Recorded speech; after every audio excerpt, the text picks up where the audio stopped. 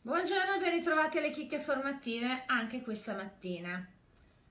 Allora, consulenzia, McKinsey, un altro pezzo della ricerca che hanno proposto, che poi è la continuazione in realtà di quella dell'anno scorso, dice che a causa de, della riduzione dei margini l'anno pro, cioè adesso, questa fine quest'anno, l'anno prossimo, il 10% dei consulenti attivi ad oggi eh, dismetterà di fare questo lavoro, quindi abbandonerà la consulenza finanziaria.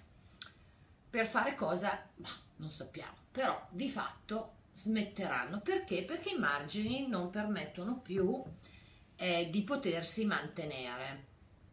O se non smettono loro, li, li faranno smettere le mandanti, no? Perché già questa operazione è stata, questa epurazione, chiamiamola, questo polgrom è già in atto da un po' di tempo. Ora, come direbbe il mio amico di Roma, ehm, se l'acqua è pop bocca la papera non galleggia, ok?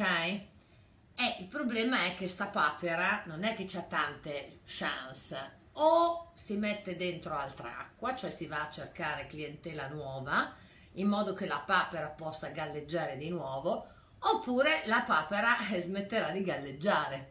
Finito, cioè non è che c'è altra soluzione. Quindi, oddio, si potrebbe anche pensare alla consulenza indipendente ok? Tra l'altro io sarò presente al, um, al summit settimana prossima, il 18 e il 19 a Verona, per cui se volete venirmi a trovare vi aspetto. Ora, quindi sta papera, che si fa?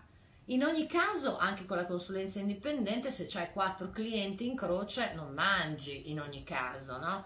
Per cui che sia sottomandante, che sia indipendente, sta papera deve continuare a galleggiare, il che significa portare dentro clienti nuovi.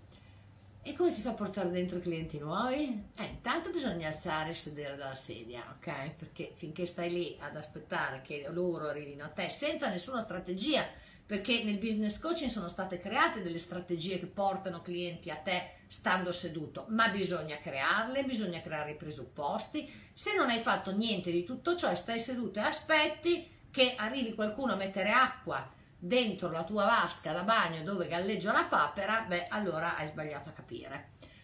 Bisogna che sia tu a trovare l'acqua da mettere dentro la tua vasca per far galleggiare la papera. Ok, quindi la condizione di un 10% di consulenti finanziari sarà quella di cambiare o mestiere oppure passare alla consulenza indipendente.